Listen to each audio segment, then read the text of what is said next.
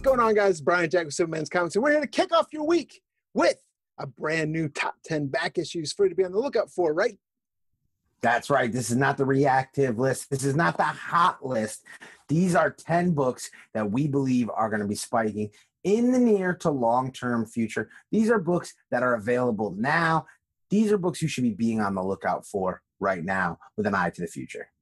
Right. We're not putting books on here that have peaked that on everyone else's hot 10, top 10 list. So people can take poke holes at them and they go, it's only going for 20 bucks. That's the whole point. It's on the list for, and we think it presents great buying opportunity. And that's what our top 10 list consists of every week to create that overarching big master list. But we're going to get into the first one, starting with number 10. And penetrating the list at that bottom spot, number 10, we get that Star Wars number 43. Volume one has a pretty good first appearance in here, right? That's right. We're talking about Lando Calrissian. And now we've talked on this channel on several programs about our belief that really Star Wars keys are undervalued. Now, certainly, we are no longer preaching to an empty church with this one because everybody is talking Star Wars keys, but there are still some classic first appearances from that first series that are just kind of overlooked. And Lando is one of them. But Lando's back in the news with reports that Donald Glover is going to be reprising his role as Lando Calrissian for an upcoming Disney Plus series. And that is going to get a lot of attention on Lando in a way that we haven't seen because if you're judging anything by that Mandalorian heat, I would expect to see that show be extremely popular and the character increase his visibility and storytelling ability so this is a, a, issue that seems like a no-brainer, but one that's often overlooked and is still quite affordable. Yeah, whether it's Billy Dee Williams, whether it's Donald Glover. Another thing also is a lot of people gave some hate on that solo movie. I actually really enjoyed that movie. So if you haven't watched it and you have Disney Plus, it's up there available for you to watch now for free. Well, minus your subscription for Disney Plus. But I thought it was a really great, movie. And Jack, I think you've said similar. Yeah, I really enjoyed the movie. I thought it was just fun. I think that's the best way to describe it, which is why I'm real bullish on Lando as a comic property. Coming at the number nine spot, this is one that's kind of niche. A lot of collectors like to pick up these type stories, but it's also something to be aware of. And we're talking about the Strange Academy previews. Sto- we're talking about that Strange Academy preview that appeared in multiple Marvel issues, right? Yeah, and it's funny that it is even considered niche, Brian, because if you look at like the Teen Titans characters like Cyborg um, and Raven, who were first featured in DC Presents 26, it's a preview exactly the same manner as this Strange Academy preview. I think really the only difference is that it only existed in one book versus this one existing in I think five or six.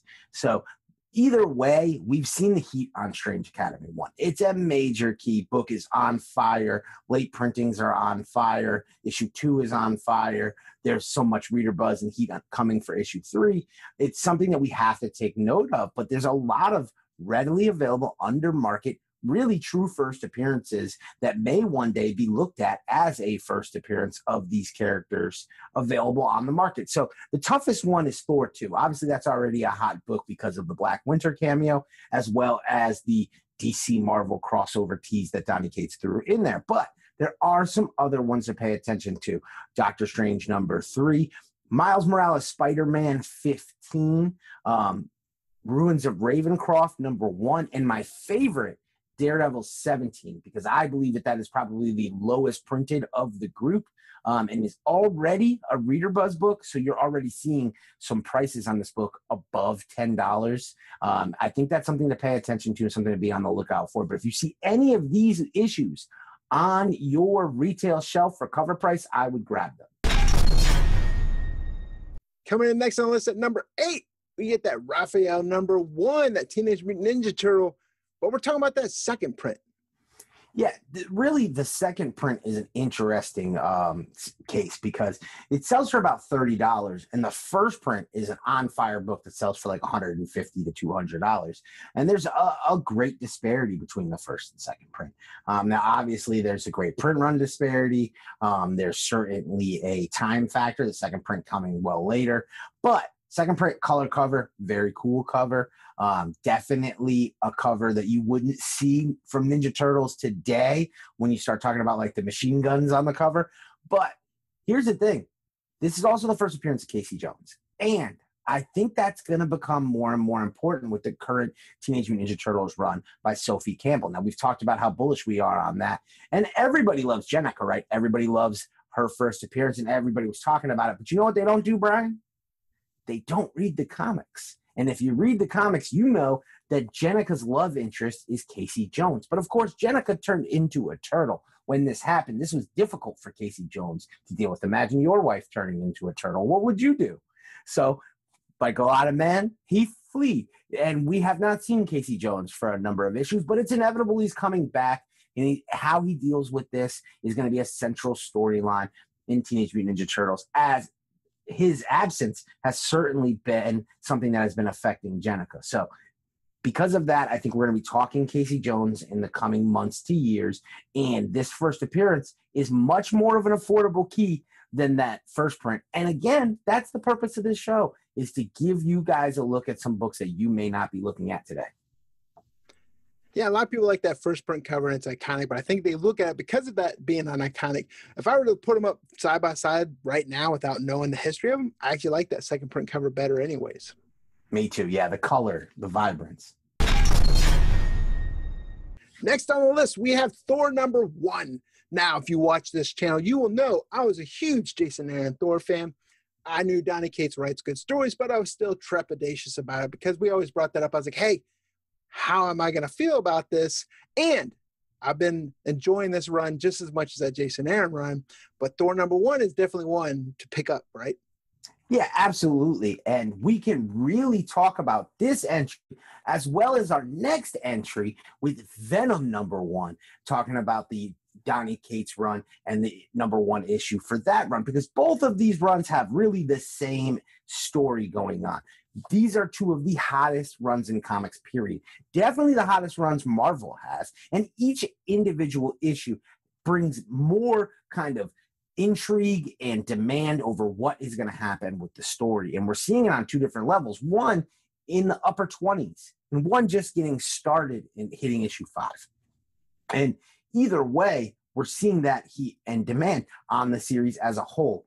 Issue number one is kind of the issue that tends to avoid that. And why? Why, you may say? Well, nobody would have advised you to invest in issue number one of either of these series because they were so heavily ordered, um, both for retailer exclusives as well as just every comic shop knew. Donny Cates, Thor, no brainer.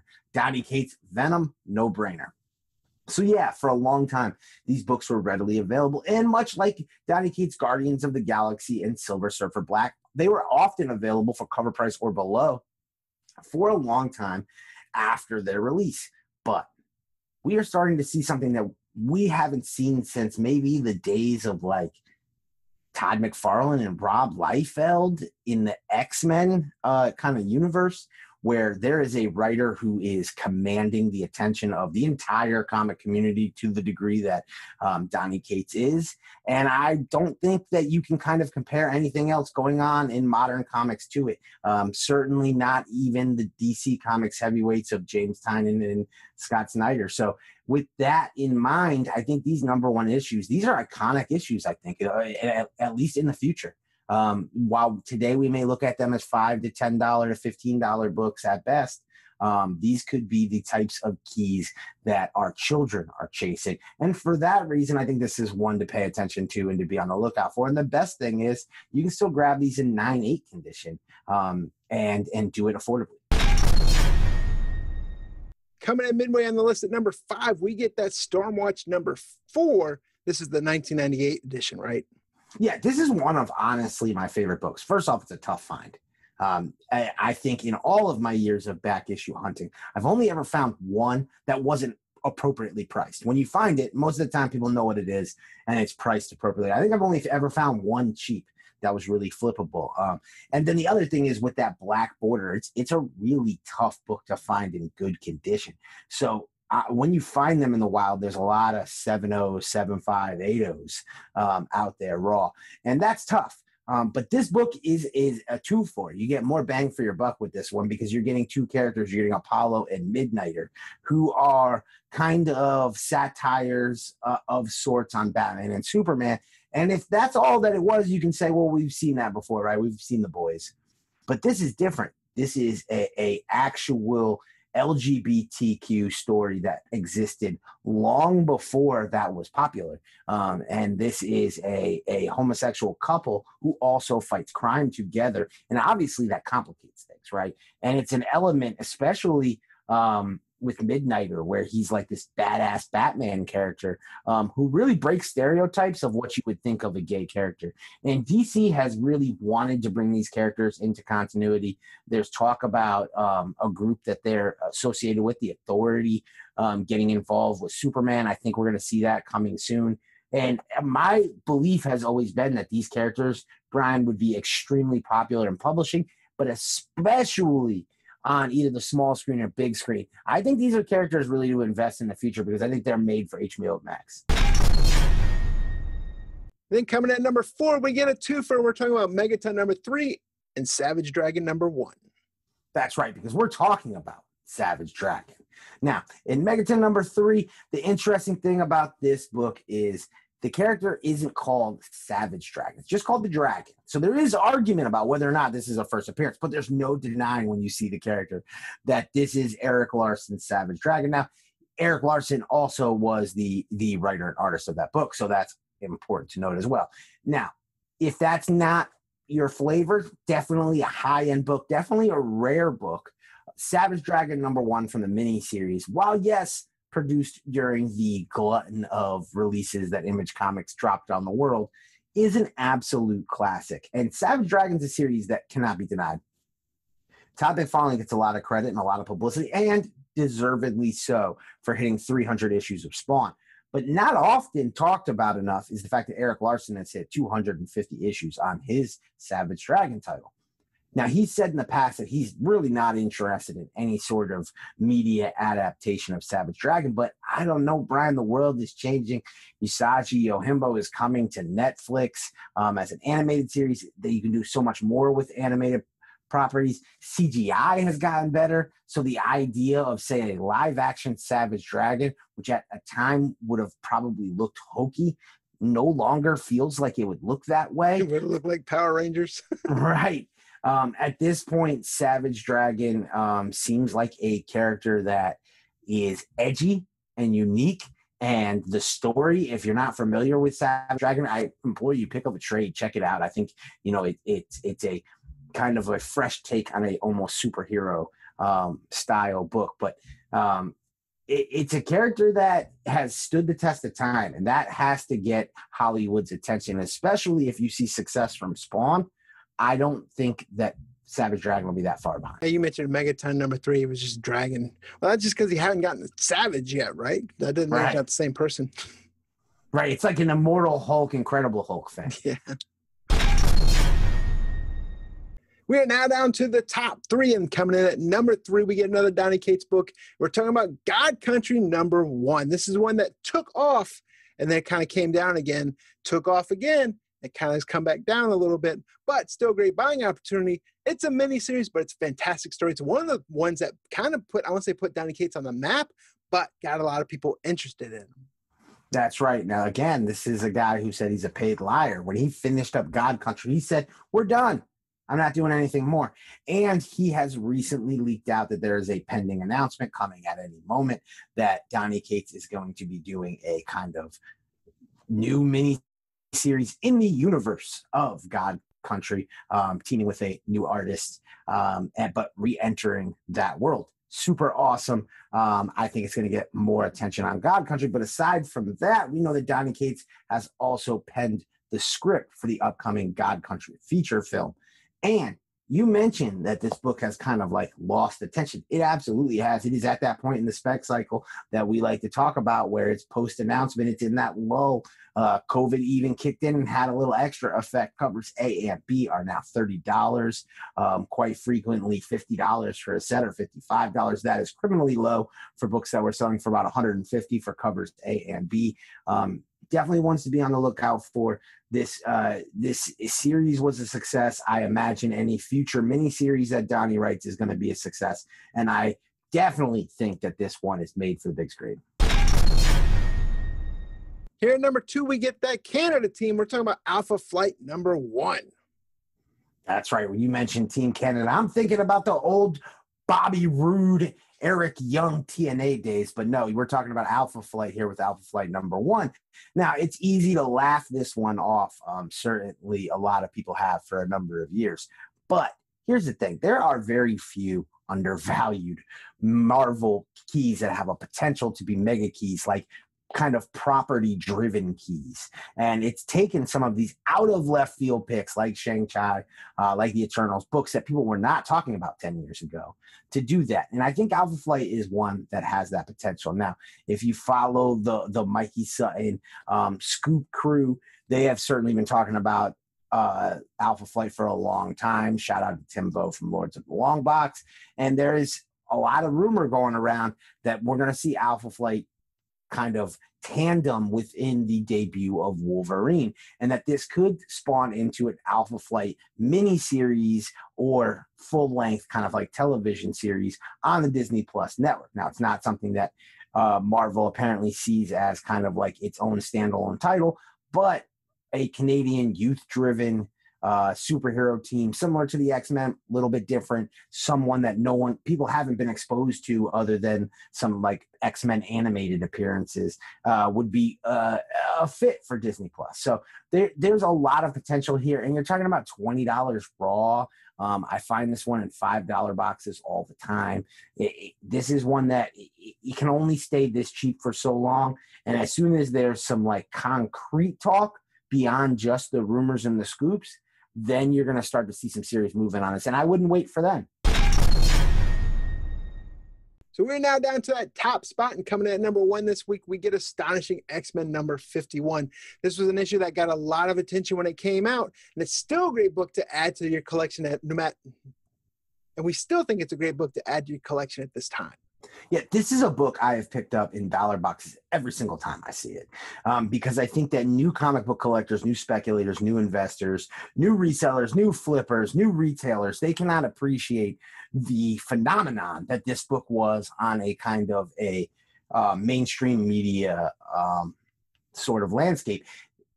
To, to kind of give you an idea, this is the first gay wedding in comics. Uh, Northstar, uh, the leader, the the um, kind of main character of the Alpha Flight, uh, gets married in this issue.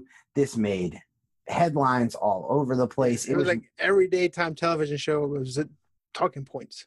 Exactly, exactly. It was everywhere. And because of that, this was certainly a, a well ordered issue. It was heavily ordered. Um, so it was one of those flash in the pan event issues, right? Where it's like a $10, $15 back issue for a while. And then um, when people are not talking about it on The View or USA Today or um, uh, on, you know, Good Morning America, then it, it's no longer the book of the moment. But we just talked about Alpha Flight.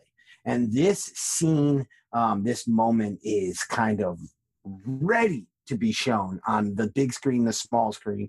Um, I think if they go deep into Alpha Flight, they will definitely delve into Northstar. I think he's one of the most marketable factors within Alpha Flight. We've talked about Apollo and Midnighter. Uh, representation matters. We've certainly seen the success that say female representation on the big screen within the superhero universe has had. We've certainly seen this success that uh, people of color and their representation within these superhero universes have had. I think it's only a matter of time before the LGBTQ community um, is represented and represented in the light in which they deserve. And I think that Northstar and Alpha Flight could be kind of the perfect conduit for that. And there is no better vehicle than the MCU or the Disney Plus streaming service to be able to do that and to do that in a manner that's you know tasteful and family friendly and uh I think that this issue is one that could see its light of day again. It's got a beautiful wraparound cover. There's also a very unique blank cover where only a small portion of the cover is actually blank for sketches, and it sets a frame um, that's supposed to be like a wedding album type cover. And you know, Brian and I, we run a great website, exclusivevariants.com. We love to talk about exclusive variants. There's actually an exclusive variant for this book from the Heroes convention way back when when they did this, which is my LCS. Heroes aren't hard to find, and that exclusive variant actually instead of the blank section uh, features a, a image of the owner of Heroes Aren't Hard to Find, Sheldon Drum, and his wife. He made that exclusive variant as a present for his wife. So all of you men out there, step your game up. Have you made an exclusive variant for your significant other yet? But that book is another book that I think will be the lowest printed uh, copy of this book. So if it takes off, that could be one to be on the lookout for. I'd make an exclusive variant for my wife, but I'm better off just throwing the money in the toilet because she would be like, "What's this? A stupid comic book?" right.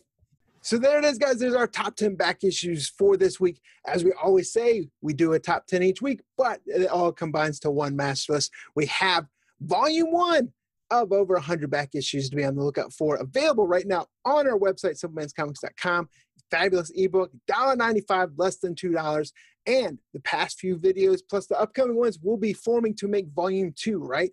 That's right. And it's on the way. It will hit this summer. Um, so stay tuned and be on the lookout for volume two coming soon. With that being said, guys, this is Brian Jack with Simpleman's Comics. We'll see you guys in the next video. Yeah, no, I'm sturdy like a milli rocket. Skin clear, still look young. Andy Miller knockers, money in my pocket. Don't call me a money pocket, engine get to rocket. It sound like a thunder rocket, yeah. I still love my baby even when it's toxic. Crazy like she Britney, but no, she don't shade the noggin.